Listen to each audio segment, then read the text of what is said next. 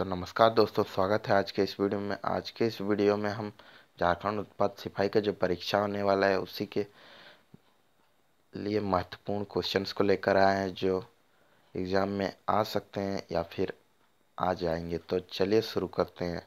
Video शुरू करने से पहले हम आपसे एक रिक्वेस्ट करना चाहते हैं। अगर आपने इस चैनल को सब्सक्राइब नहीं किया तो कर लीजिए, साथ में बेल आइकन को ही प्रेस कर लीजिएगा। तो चलिए शुरू करते हैं। पहला जो सवाल है वो है सिद्धो कानू विश्वविद्यालय कहाँ स्थित है? तो इसका जो सही उत्तर होगा वो है दुमका में सिद्धू कानू विश्वविद्यालय स्थित है। दूसरा जो सवाल है हिजमा हि, सॉरी हिजला मेला किस नदी के किनारे है? तो इसका जो सही उत्तर होगा वो है डी नंबर यानी कि मयूराक्षी।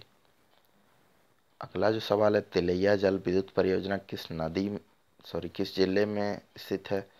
तो इसका जो सही उत्तर होगा, वो है कोडरमा, यानी कि बी नंबर ऑप्शन के आधार पर।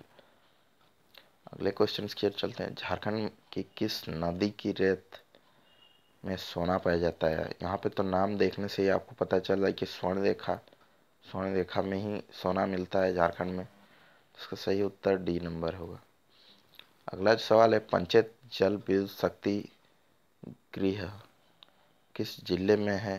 तो इसका जो सही उत्तर होगा, वो धनबाद, यानी कि डी नंबर।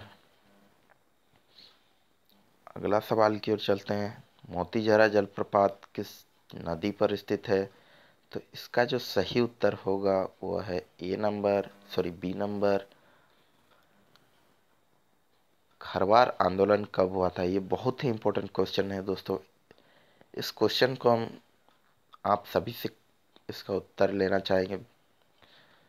तो इसका जो सही उत्तर होगा, आप हमें कमेंट करके ज़रूर बताएँ। इन चारों में से कि कोई एक ही आंसर है इसका सही उत्तर।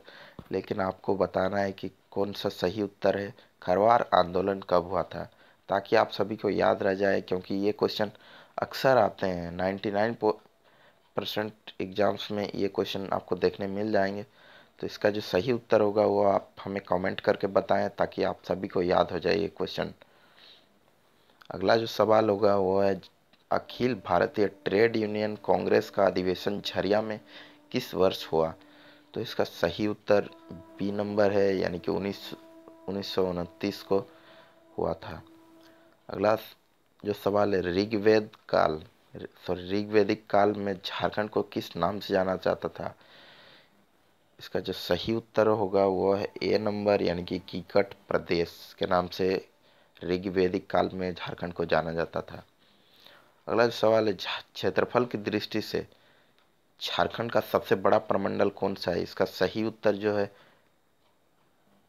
उत्तरी छोटा नागपुर है, यानी कि डी नंबर इसका सही उत्तर है। दोस्तों इसी तरह के वीडियोस के लिए आप हमारे चैनल को ज़रूर सब्सक्राइब करें, साथ में बेल आइकन को भी प्रेस करें ताकि जो आने वाले वीडियो है, उसकी नोटिफिकेशन आप सभी को सबसे पहले मिले।